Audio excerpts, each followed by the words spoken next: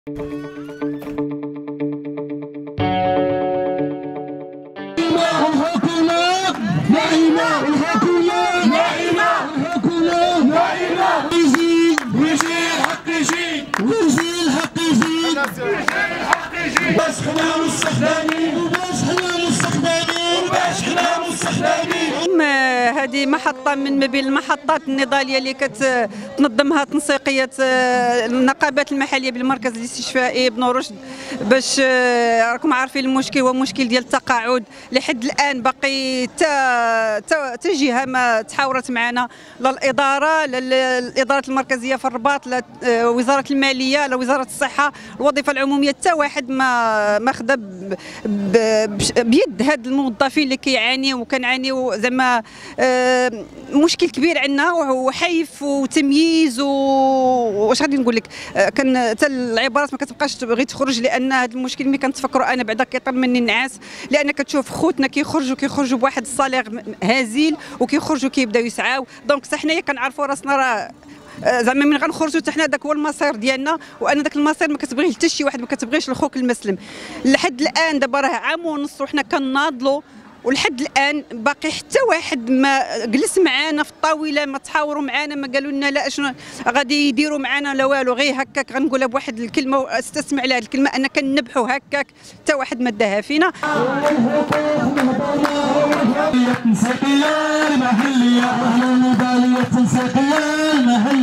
هذه سلسلة من سلسلة الوقفات الاحتجاجية لأجل تسوية هذا الملف. هذا الملف ديال ديال التقاعد اللي يؤرق مستخدمي المركز الاستشفائي الجامعي. وكما كتعرفوا الفئات ديال الموظفين كل عام كيخرجوا وكيخرجوا بأجر هزيل. هذا الشيء هذا هذا الدوسي هذا يؤرقنا ويحبطنا وي وهذا ويأخذ النوم من أعيننا. شوف كيف.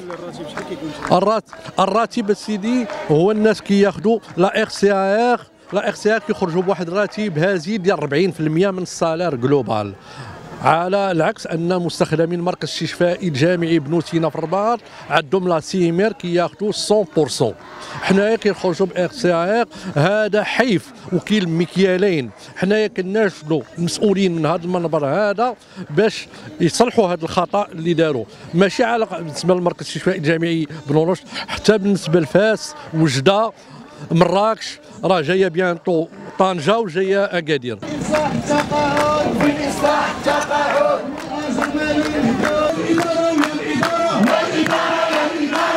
قبل ما تخرجوا ما تنسوش تابوناو في la chaîne YouTube. وبارطاجيو الفيديو وديروا j'aime. وتابعوا الدار على مواقع التواصل الاجتماعي.